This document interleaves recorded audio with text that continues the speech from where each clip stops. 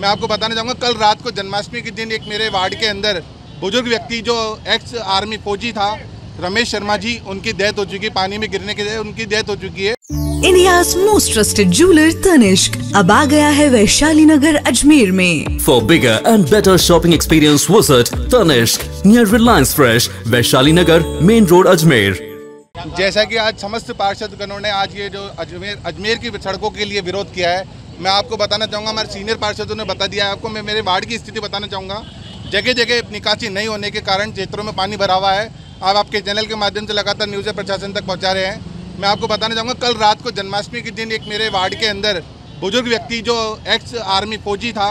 रमेश शर्मा जी उनकी डेथ हो चुकी है पानी में गिरने की उनकी डेथ हो चुकी है। उनका पोस्टमार्टम भी हो चुका है प्रशा, पुलिस प्रशासन ने भी पुख्ती कर दी है कि उसकी पानी में डूबने से ही मौत हुई है। लेकिन मैं आपके चैनल के माध्यम से ये बताना चाहूँगा शहर को कि एक व्यक्ति की जान जाने के बावजूद भी आज ना नगर निगम सीईओ, ना अजमेर के कलेक्टर, ना महापौर महोदया, कोई भी वार्ड में आकर उन्होंने मौका नहीं देखा है कि किस व्यक्ति की मौत जहाँ हुई है जाके कम से कम उस एरिया को देखे तो सही। आज वैसी की वैसी हालत है कोई प्रशासन का अधिकारी वहाँ पर नहीं पहुँचा है। मैं आपके चैनल के माध्यम से मांग करना चाहूँगा कि अमस या अजमेर शहर के जितने भी ड्रेनेज सिस्टम है, या ये जो गड्ढे अपन महीने भर से देख रहे गड्ढों की हालत, शहरों की हालत कैसी हो रखी है, इन तमाम गड्ढों का अगर भरा नहीं गया तो हम सभी कांग्रेसी पार्षद इससे ज़्यादा उग्र प्रदर्शन करेंगे और प्रशासन को हिला के रहेंगे ताकि ये जो रोडों पे हालत रखी इनकी सही हो। मेरे साथी पार्षद सुनील धानका के यहाँ पर आप देखिए खड्डे कारण कल एक आदमी की जान गई है।